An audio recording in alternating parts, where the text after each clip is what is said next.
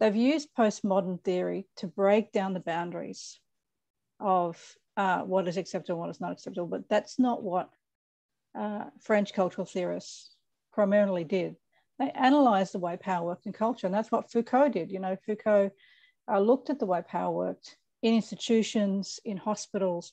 His work was was brilliant, really. I mean, I know it's been much maligned, um, but when you read it, you can see the way. But the problem is when you mix that with a Marxist framework, which which he didn't as much, he probably did a little bit. Um, you put culture in an oppressive and oppressive framework, and everything goes to hell, because um, we're you know now we're, we're talking about who's oppressing each other, you know, in accordance with our sexual identities, and it's it's of course it's ridiculous. It's the logical consequence what else is going to happen when you start when you when you take sex out of the definition of adult human female there's no other definition except for in culture. If you define a woman as a gendered object one one guy said you know we do this we play this game on twitter where we ask people what is a woman? And they do it in politics as well. You know you see it in, in the british and we do it obviously because we all know what a woman is. And the the game of the left means that they have to pretend they don't know. And you know, you see Tanya Plibersek, God bless her, trying to, what Alan Jones was trying to, you know, worm out of this. We all know Tanya knows what a woman is, you know. And this guy came back to us, one of us once, and said, a woman is a person who, who assumes a submissive position in, in sex. And we all kind of just thought, well, that's back to the regressive sex stereotypes. But what else is going to happen? Mm. And of course, you know, if you take your definition out of uh, scientific and and you know material based realities and you put them in culture, then you are giving your definition away to whoever runs the, the cultural hegemony. And so at the moment, the left run the culture, no matter who's in government, the left are in control of the culture. Of course. I want to talk about the woke phenomenon. Now, uh, Northern Vibe listeners are mostly intelligent lay people, but a lot of us, and I include me in this, really don't know definitions and isms. So, can I get you to quickly define the woke, I suppose, politically correct movement? Um, and then I'd kind of like to discuss how how it can be uh, how it can be faced and overcome just just to briefly to say that just yeah. briefly hey, look, I, I, I, I, know you're a sociologist. I, know you're a sociologist so it's like the, if you can give me the uh, 25 words or less. No no but, uh, well, no but but, but, but not the phd a cultural, it's a cultural phenomenon. That's it's a it's a way we've renegotiated um, our, our power to to a power hierarchy and so, uh, in, in the vacuum of religion and all our other um, kind of cultural understanding, they've restructured and, and, and but people talk about it, but it's a sort of mixture, it's a contradictory mix of post-structuralism and Marxism.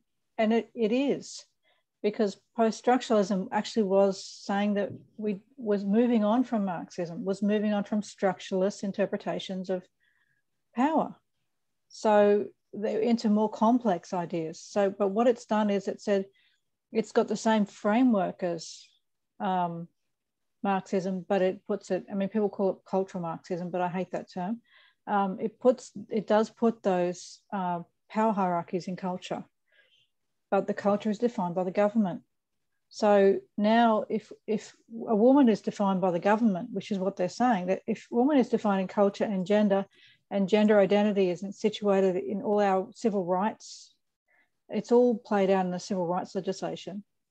And in my opinion, it's just because my humble view is that if we go back to John Stuart Mill, he basically said societies revert to tyranny the same way that water finds its own level, the same way that, you know, an animal will go back to a well societies will go back to tyranny.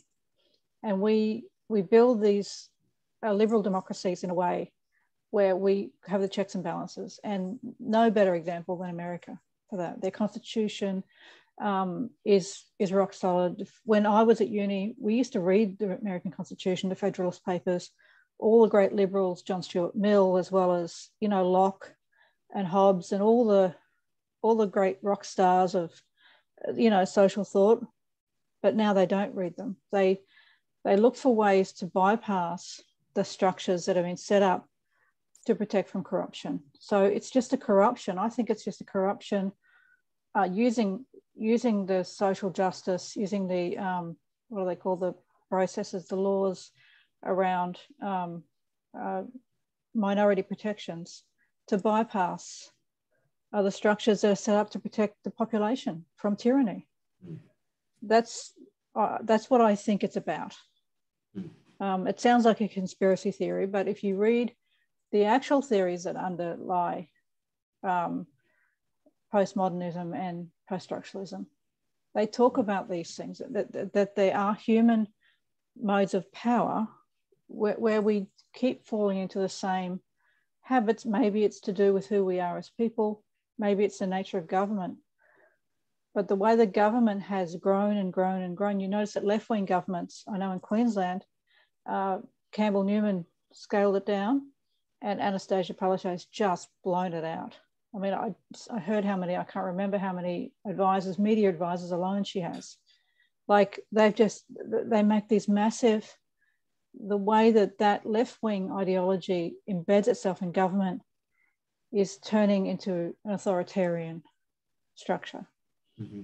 And we have to fight it at the grassroots. I, I, I think we have to move away from woke, non woke, left, right, and develop some kind of grassroots um, resistance movement. I mean, I love all these, you know, people call the, you know, all the people that are protesting against the mandates. You know, I, I just think we need to, every opportunity we get, we need to resist uh, speech mandates, all these friggin' he, hims and she, hers, uh, pronouns. We need to just keep going against them at every level mm. and figure out, organize in a way what we have to figure out how to organize to, to oppose them. Mm. That wasn't short, was it? No, no, it was good though. Um, one of the things I do want to bring to our listeners um, is your work. Now, I'm just going to uh, first. I want to discuss your uh, the article, your first article that came to my attention. But while I've got everyone, I really do want to plug um, Edie's work. Now she's uh, she's very well published. She's published in the Spectator Australia, which is the longest continuously published magazine in the English language. Um, so she's got a number of articles there. So if you get if you Google Spectator and put um, Edie Wyatt in the search thing, that will come up. She's got her own excellent website. If um, if I can make the observation, so I'm going to blow that out. To open that up a bit. So there's some really, really interesting articles in here that I've been that I've been going going through all morning. It's definitely it's definitely um, worth having a really good look at um, at Edie's website. But let's talk about your article because I think it kind of like leads into and sums up what's going to happen. Now, Edie wrote this article for Quillette magazine, which is another uh, which is another great source of information that I that I unashamedly plug. Um, she's written this article last year. My white privilege didn't save me, but God did. Now, Edie, I'll get you to walk through this. What's a good left-wing soci- sociologist doing, believing in the whole God thing, and can you and can you and, and, and ending up voting conservative? Like that's a that's a really interesting story. So walk us walk us through that journey um, and the article pretty much does i know but let's let's walk through that. Sure. I, I don't think it's an unusual story. I think a lot of us i grew up in a, a left-wing uh, working class suburb a housing commission estate in brisbane which is not unusual. I think Anastasia uh, had a similar uh, i think she grew up in Inala, which is a similar kind of suburb um, and uh, my father was a cockney I was English working class. My mother was uh, descended from convicts. Um, uh, I had uh, childhood sexual violence and as well as a range of other things. I had a family who I loved very dearly, my cousins and, and uh, siblings, um, most of whom have uh, died uh, through a range of circumstances. Um, and uh, I have I went to a went to university. I was homeless for a period of time, and then I went to university and I studied uh, uh, humanities. Uh, it was a it was a groundbreaking at, at, Griffith University. It was a groundbreaking degree at the time because it was uh, based a lot in French cultural theory. I did I did cultural theory and uh, polit- politics, um, and joined a socialist organisation. But I, I suffered from crippling uh, fear uh, and emotional problems as a result of uh, sexual violence and uh, childhood sexual abuse. Um, and I couldn't get myself together. You know, my mother was mentally ill. She had Huntington's disease, which a lot my family had. Um, she was an alcoholic. I couldn't, I, I couldn't get my shit together. Uh, one day, I, I, smoked a lot of pot, I drank a lot. You know, uh, it's not uncommon uh, in in our culture. Um, and one day I just uh, collapsed and I found a Bible um, and I read a scripture. And uh, it, I just, I still remember that point. I was on the floor of the house I was staying in. And, you, you know, it was one of those, you know, heaven came down moments. And I then, a few weeks later, maybe a few months later, I ended up in this Baptist church uh, with the most conservative people that you can imagine. And I was, you know, as Doc Martin wearing, you know, a socialist creature. Um, and they were so kind to me. You know, they were so good to me. Uh, and, you know, I said in the article, I, will never forget, I'll never forget them. And I'll never uh, fail to defend the rights of fundamentalist Christians because you know, they were very profound, a very fundamentally believing group. And I was a pain in the ass, and they really loved me, you know, and they looked after me, uh, and they cared for me in a way that I hadn't, I had never known before. Um, and I met my husband there and got married. Um, and I, the practices of the Christian faith were very important to me. And I was talking about them before about the boundaries of uh, where women are. When you when you have had uh, violence, particularly sexual violence, as a woman, you find men hard to trust. It's very difficult to be in their physical space. You know, you, you know, it's not easy for a young woman, um, which is one of the reasons I, I advocate for single sex protections because even with a different different gender identity, young women know a man, you know, and they they need space and they need some and that's why i started to that's why i wrote the articles because i wanted to say you know these minority sexual and gender identities are not the only people that need things. Women have needs. And we've acknowledged them in culture. The protection of women from sexual violence is a very important thing. It's not just a thing that we did once and we succeeded in and now we're going to do something else. We we always have to center uh, women and girls in in a way to protect them from this risk. It's always going to be there. So um, then I uh, still was left wing for many years. Uh, and loved always loved the scriptures i loved to read you know i, I don't think i ever really became i certainly didn't become right wing uh, right wing christian or whatever they call us fundamentalist christian hmm. um, but I, I, always practice, you know, loved the practice of the faith. And um, then one year, uh, Kevin Rudd said, he went on Q&A and he said, uh, the, the, the same-sex marriage debate was happening and he said the Bible endorses slavery. And that was a turning point for me. Um, I, because I remembered all those years later, I left I went worked for the government for a few years and I we ran our own business for many years.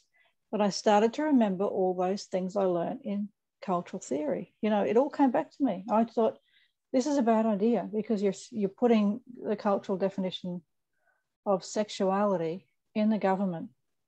This is very bad. This is a violation of the separation of church and state.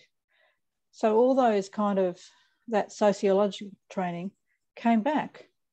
Um, and I guess when the gay marriage debate came, it wasn't that I was against gay marriage. It was that I knew that the whole bunch of identity stuff, this gender identity stuff that came with it, was bad for girls, particularly. And, and now I meet with a lot of people online. I'm in a little group, a Twitter group with some gay guys and gay women. Um, and they don't like it either because it invalidates their existence. Mm. So um, I started these conversations, like many of us did. We, we were in the left. I thought I would. I was born voting Labor, even though I couldn't vote when I was born, but I was always going to vote Labor. Yep. You know, who else was anyone going to vote for? I thought I would die voting Labor. But, you know, when they were taken over, uh, it, it affected my religion to start with because I thought, hang on, what about freedom of religion? And then I realized the wider, the broader implications. And it wasn't until I wrote that that I entered, um, that I really understood. I listened to lesbians um, about how they were being affected. And I learned about the cotton ceiling, which I wish I could unlearn, um, and how they were, they were not being allowed to have their own single sex spaces. And I figure that if they can't have, if we, if they can't, if a lesbian can't have a single sex space, then we can't have our women's prayer retreat. And a lot of Christians don't understand that. They don't quite get the, the broader implications. And because I have a degree in sociology, because I've got that basis in cultural theory, I thought, well, I've got to write, start writing and talking about these issues because they're ignored. Well, of course, they're ignored by the left, but they're completely being missed by the right as well. Um, some some people have tried to, you know, but uh, yeah, I, I felt like I needed to talk about that stuff. So you you know you do in this magnificent article you talk about um, how it's important it's important that biology you know a recognition of reality needs to be at the at, at the center of that. But you also talk too about um, the importance of forgiveness and healing and how the and the and concerns about the weaponization of victimhood. Hmm. Is that something you'd be willing to kind of? Yeah, I, I think one of the things I, I learned when I first became a Christian, and that's a thing about structures of belief, is that they do give us signal posts to direct our lives. And one of the things Christians believe in is, is Christians do believe in is leaving, uh, leaving victimhood behind. And you know, I felt really early on God telling me that I needed to walk away uh, from the identity of being a victim. And I very rarely, you know, we call ourselves survivors because that's part of the, the discourse that we engage in. But I very rarely I would identify myself. I don't think I would ever call myself a victim um, because I'm not a victim. I was a victim. Um, and um, I certainly I did take that through the courts as well. And a conviction was made and and then I just left it behind. You know, I don't think that justice was served terribly well, but you have to, you can't carry this stuff with you your whole life because it will kill you. And it was killing me. I, I know that it was killing me uh, before I came into the church, um, before I met God.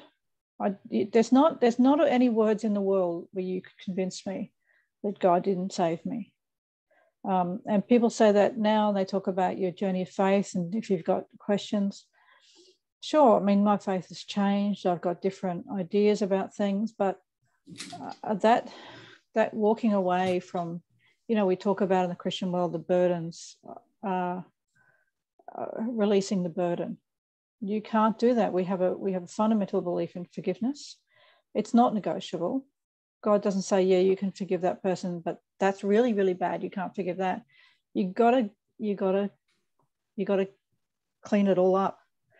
And so I forgave um, everybody, uh, including my parents who didn't protect me properly.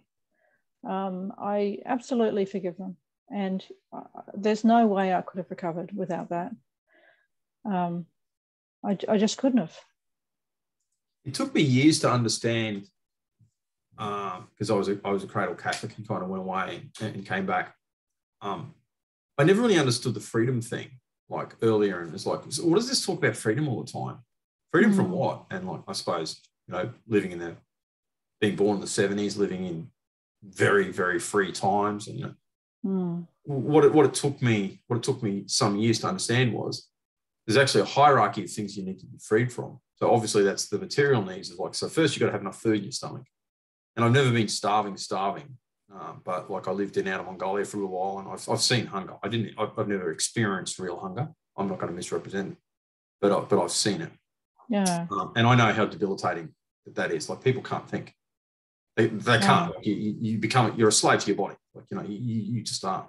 Same yeah. with water. Like if people get truly, truly thirsty, and believe it or not, everyone associates Mongolia with snow, and it's true. But it's a really dry place. Like people mm. get thirsty, like seriously thirsty there. But one of the other things that I, I came to understand was that you needed to be freed from these things that had happened to you before that are really in danger of defining who you are. Mm. So, you know, you can yeah. define yourself by, you can define yourself by something that's happened to you. Um, and that's really dangerous. But alternatively, if you've done something really wrong and, and really hurt someone, you're in equal and perhaps greater danger of defining yourself by that as well. Mm. And that yeah. can become definitive. And, and you need to be able to free yourself from yes. that. well, that's the thing about Christ, isn't it? He's at the center of the cross. Some people say, you know, I believe in all this. I, okay, I believe that there's a God and all the rest of it, but I can't believe in the resurrection. It's it's right at the center. You what know, the, the death and resurrection of Christ is the center of our faith. It's it's how we cross over. Uh, you know, we talk about being born again, and that's that's absolutely how I felt. It's not that all my problems went away. It's not that I didn't have to deal with crap. It's not that I still don't have crap to deal with. We are we are encased in a body. You know, we are sort of what does Paul say? You know, this body of death. We, we are we are anchored to the to the world. Um, but our spirit, that's you know, that's what frees us.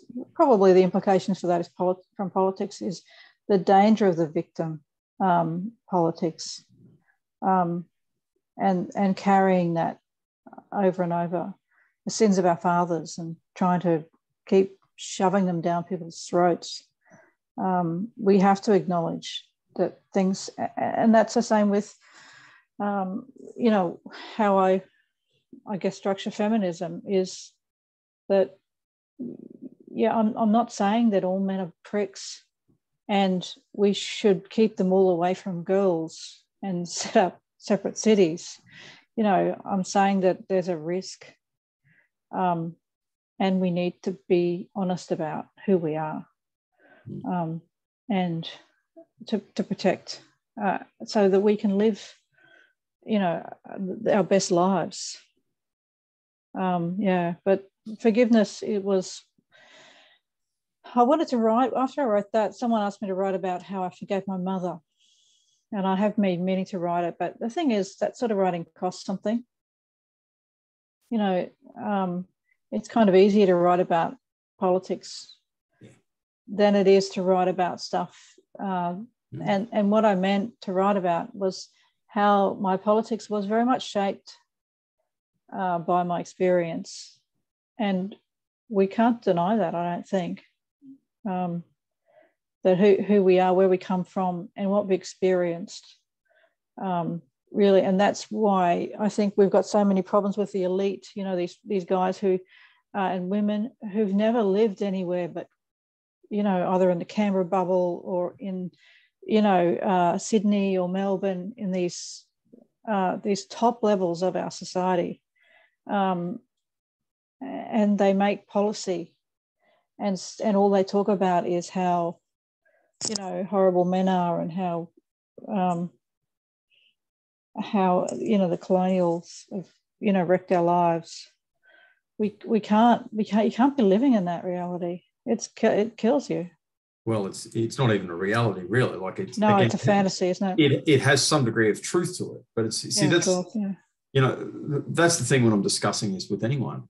Like you can't come out and say it's all complete codswallop because they go, well, what about this? and you know, some of them will even get Cathy Newman on you and, and go, "Are you saying that there's no such thing as racism?" It's like, oh, are you saying there's no such thing? Oh God, like you know, they're boring. Aren't they conversations boring? no, but like you know, it, it's it's really it's really hard to, like, yeah. if you seriously want to.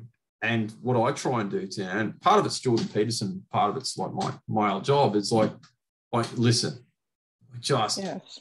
just just shut up and listen because even the, even the most like people will genuinely if you're seriously listening to someone they will genuinely even the most manipulative liar will tell you what they think mm. or what they actually want that will be revealed they can't you you can't help it that will come out no matter how much of a practice liar you are doesn't matter you know you could be peter foster but it's still it, it's it's it's gonna come out it yeah. will come out and so what I try and do is just discuss stuff with people and just kind of see what they're, where they're coming from. And I'm convinced that most people, even the really ideologically poisoned ones, they're coming from the right place. It, it's like yeah. I use this analogy, and it's a simplistic one um, that you've got a good brain. So you've got a computer, it's got RAM memory. Okay. You could have the best computer in the world, most memory, all that kind of stuff connected to the internet, yada, yada. But if you're running a really bad program on that computer, it doesn't matter how much the, no. it's the program that you're running on the computer. And so I think that we can change you know, the program that, that, that, that people